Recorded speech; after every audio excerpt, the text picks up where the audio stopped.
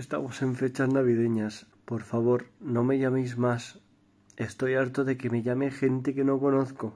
Hay gente que me ha llamado que hace un año o más que no sé nada de él o de ella. Y, y tengo miedo porque sé que me va a llamar más gente. Feliz Navidad, feliz año. Pero qué feliz año. Si no llegamos a final de mes, si la bonificación la van a quitar, qué feliz año. Feliz año será para, para otros, para, para nosotros no.